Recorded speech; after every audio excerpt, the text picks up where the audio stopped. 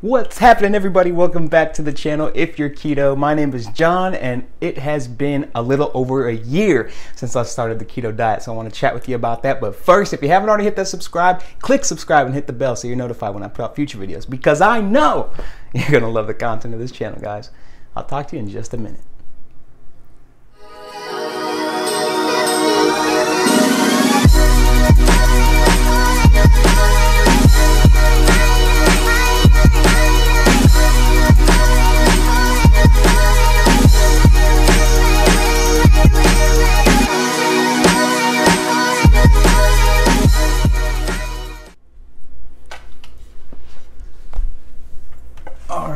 What's up, guys? Boom! Just got back from the gym doing chest and back today. Got up early this morning to do some cardio, hitting that bag that we got downstairs. Um, I feel really good, guys. It's been now over a year since I've been on the ketogenic diet, living this keto and intermittent fasting st- uh, style of way of life.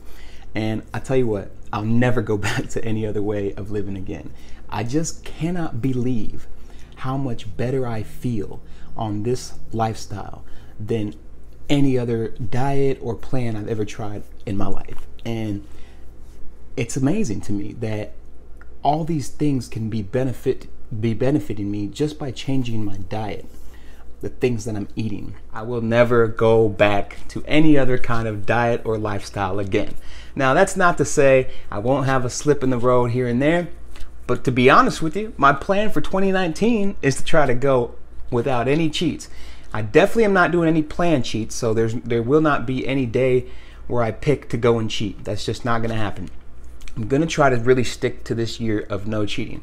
I want to talk about one of the most notable things that I noticed that were that the difference when I started uh, implementing less carbs. When I stopped eating so many carbs at the beginning of the year, I was bulking and I wasn't exactly eating uh, terrible um, non keto carbs, but I was definitely teetering on dirty keto and eating a whole lot of more of those things like Quest bars and Halo Top ice cream and just things like that that you could probably get away with now and then. But it was kind of turning into something regular, and that's not good. That's a dirty bulk. I probably didn't do it right. I learned some things along the way. I definitely won't do approach a bulk that way in the future. But I'll tell you this I cannot believe how much better I feel now that I've reduced those carbs down.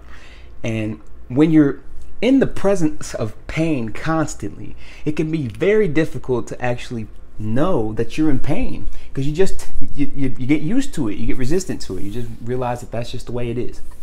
So when i came off eating all those carbs about a weekend not only did i feel great i felt way more energetic. I had just an abundance of energy. I could get up earlier with no problems.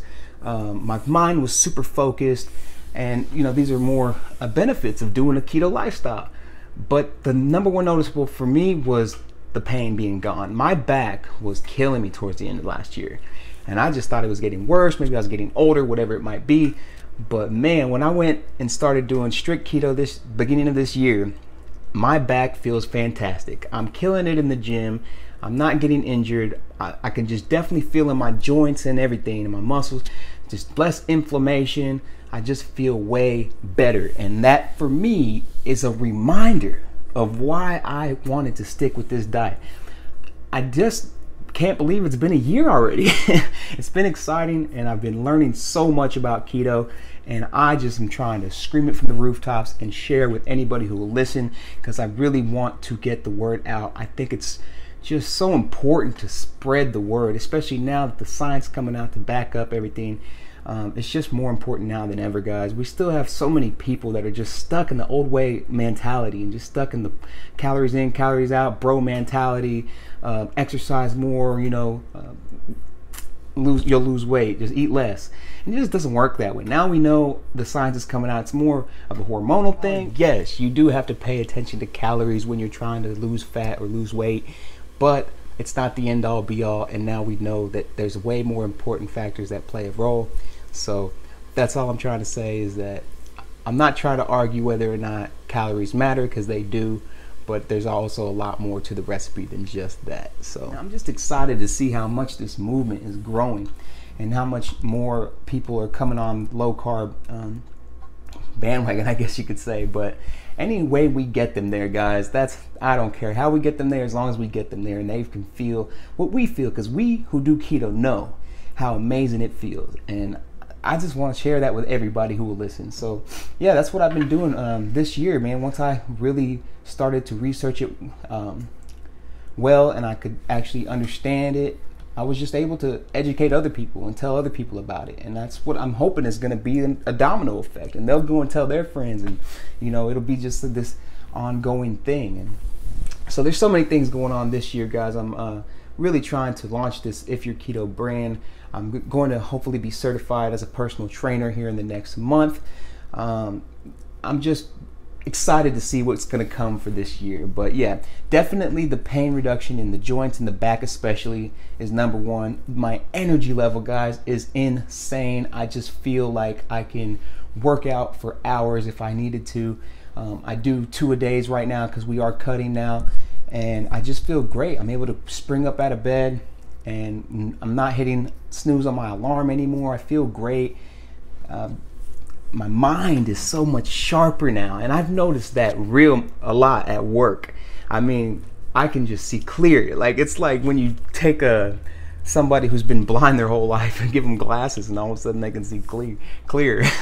That's I guess how I would describe it to me, because uh, you know that if you've eaten those carbs. Um, after being keto for a while and then eating carbs, you have like that brain fog, like that yeah, like your brain is just like dumb.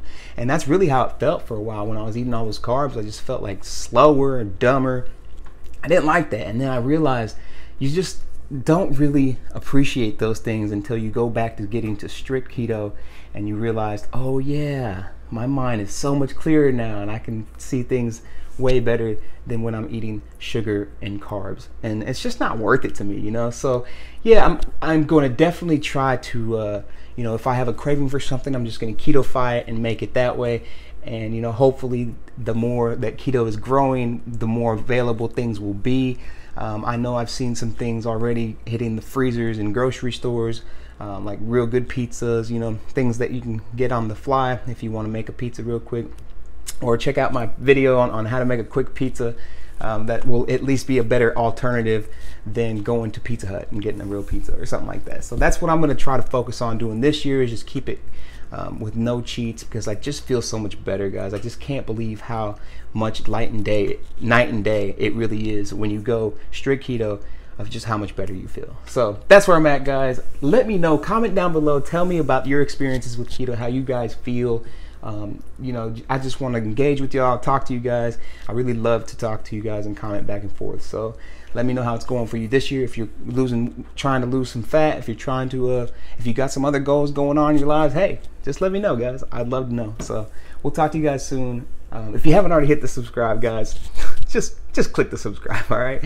All right. We'll talk to you later. Life's too short, so have a fantastic night.